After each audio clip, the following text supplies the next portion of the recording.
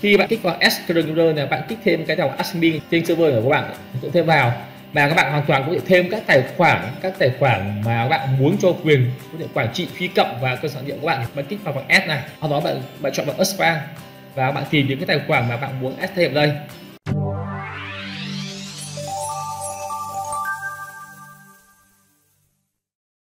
Xin chào tất cả các bạn, đến với kênh người bình. Trong video ngày mai mình hướng dẫn các bạn cách các bạn cài SQL Server 2022 e và cách các bạn cài SSL, đó chính là SQL Server Management Studio để quản lý các cơ sở dữ liệu của bạn.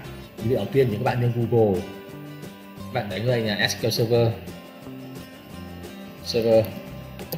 Các bạn tìm đến ngay link đầu tiên SQL Server Download. Mình mở ra một tab mới này các bạn kéo xuống này, ở đây là có một số phiên bản free cho các bạn. Lại có hai phiên bản free cho các bạn là phiên bản Developer và phiên bản Express.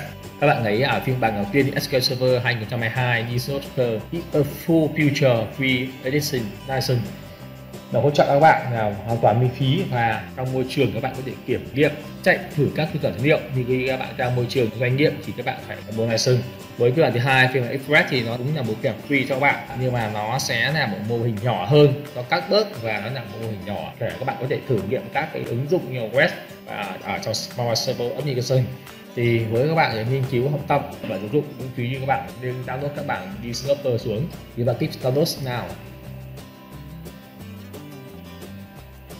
Ok như vậy là các bạn đã download cái bảng developer rồi. Cái thứ hai là bạn cần download xuống, nó là một cái công cụ giúp các bạn quản lý các cơ dữ liệu trên SQL nó chính là bạn đánh vào đây. Bạn cứ vào Google. Và các bạn download SSL SSMS bạn enter thôi. Thì các bạn cũng có hai link đầu tiên các bạn kích vào nút ngay vào đây.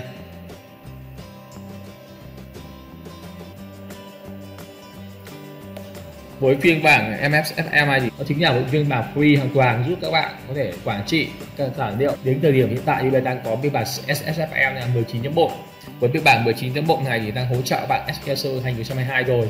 Thì bạn thích đây các bạn download phiên bản free về.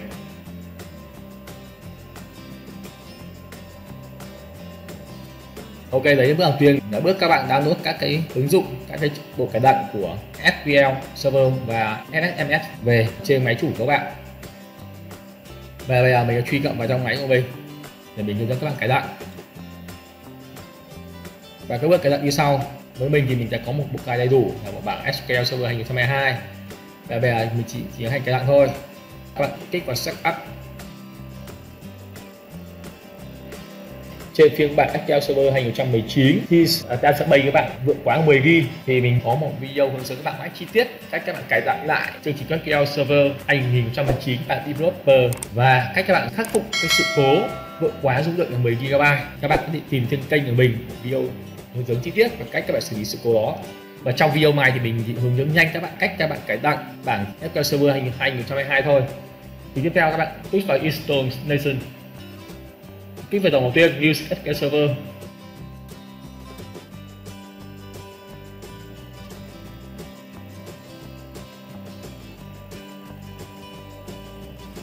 Ở đây mình đang có key rồi thì mình sẽ chạy add this key của mình luôn thì mình cài đặt với các bạn thì các bạn chưa có key các bạn kích ngay vào vào special uh, free edition này và các bạn chọn vào phiên bản là bạn developer hoặc là bạn express tùy theo bạn muốn cài. Còn mình thì mình đã có key, nên mình đã bỏ qua các bước này và mình chọn vào key và mình chọn vào I have a SQL server license và mình ấn thôi.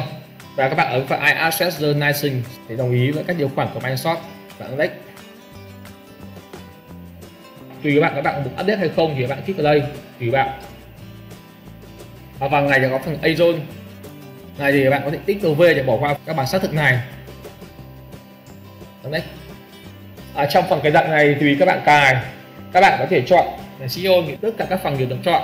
Nếu các bạn chọn CEO thì đây nó rơi vào hơn 10 g trên phân vùng ổ cứng các bạn. Tùy theo nhu cầu các bạn có dùng phần nào thì bạn có thể bỏ phần đó đi. Các bạn có thể bỏ phần machine learning đi này. Hoặc phần thứ hai các bạn có thể bỏ đi. Nó sẽ giảm bớt dung lượng các bạn là phần body space ready này.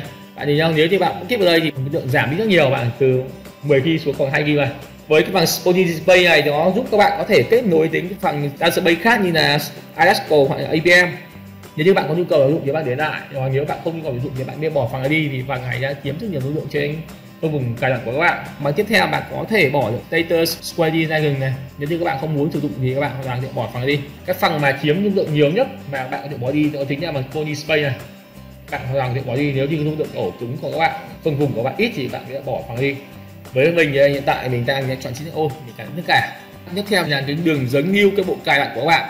Nếu như mà trên ổ C các bạn không có cái cơ chế backup dữ liệu thì bạn nên đổi cái phương vùng này sang ổ D hoặc ổ E để bạn lưu.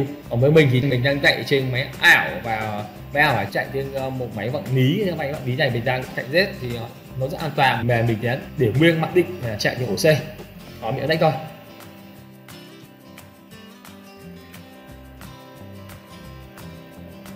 Phần tiếp theo là phần các bạn đặt tên cho bộ cơ sở liệu của bạn. Nếu bạn để có định thì bạn định nó đặt tên như này. Là MSQL server, hoặc các bạn thì có thể tổ tên người nhớ theo các nhu cầu bạn mong muốn. Về mình cái tổ tên này đi. YSL Matrix mình cái tổ thành YSL Fabric Fabric của mình. Đây là một máy chủ mà cài cái một ứng dụng là ứng dụng đấy chính là Fabric là một ứng dụng kế hoạch cho toàn bộ công ty và bộ doanh nghiệp. Vậy mình tặng tên là theo cái ký tự như này, cho gợi nhớ cho cái bộ cửa liệu của mình tiếp theo bạn ấn next thôi.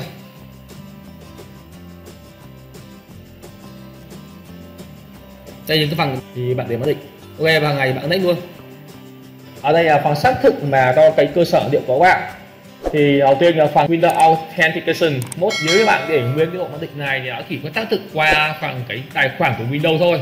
Mình khuyên các bạn các bạn nên để ở chế độ Mix Mode là cả hai chế độ xác thực là bạn có thể xác thực bằng tài khoản của Authent ở trên Windows và một tài khoản này bạn tiếp theo bạn có một tài khoản Admin SA tài khoản Admin SA này là tài khoản có quyền cao nhất ở trên cơ sở liệu của bạn. Thứ hai là bạn có thể đặt password cho cái tài khoản này. Đây mình đang mang password này.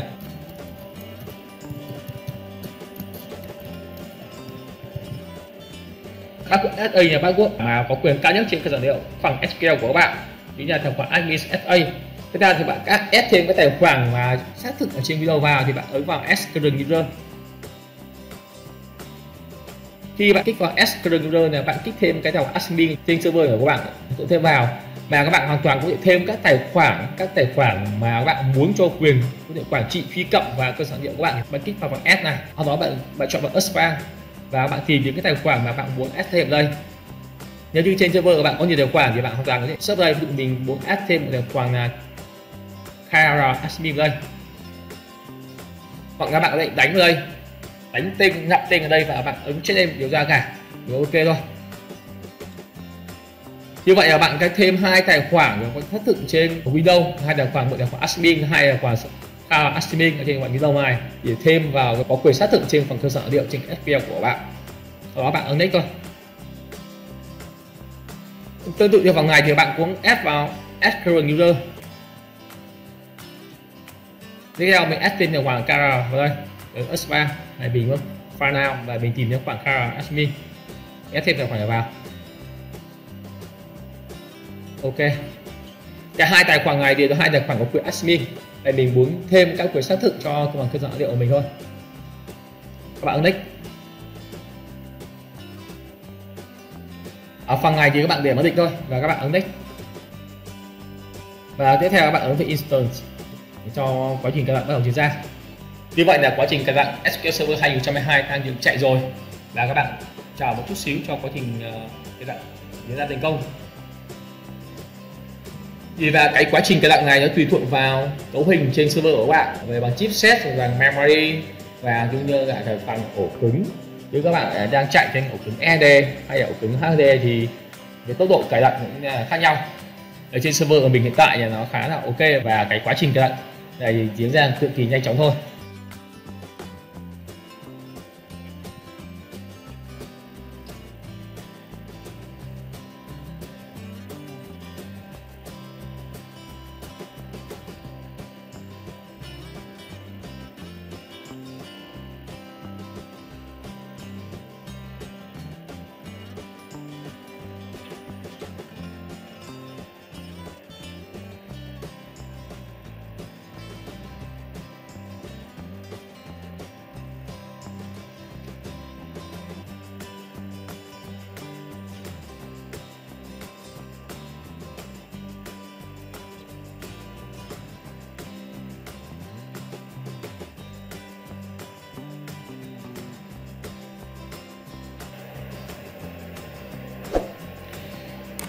Và sau khi quá trình cài đặt SQL Server thành công, thì các bạn có một thông báo là yêu cầu restart lại server của các bạn. Và bước tiếp theo thì các bạn sẽ cài thiết một cái ứng dụng SSMS chính là SQL Server Management Studio, giúp các bạn có thể kết nối và quản lý cơ sở dữ liệu trên SQL Server của các bạn. Phần mềm mình hướng dẫn chi tiết các bạn cài đặt FSMS phiên bản SQL Server 2019 cách các bạn liên kết tới cơ sở dữ liệu và cách các bạn xử lý một số nối. Khi các bạn gặp sự cố liên kết dữ liệu thì mình đã có một điều chi tiết hướng dẫn các bạn ở trên miêu bản SQL Server 2019 rồi. Thì các bạn có thể tìm đến video của mình để các bạn xem phần cái đặt SMS và phần kết nối dữ liệu trên cơ sở dữ liệu của các bạn. Và video hôm nay của mình là từ đây thôi. Nếu bạn thấy video của mình hay và hữu ích thì bạn hãy like, share và subscribe kênh mình. Xin chào các bạn và hẹn gặp lại các bạn trong những video sau.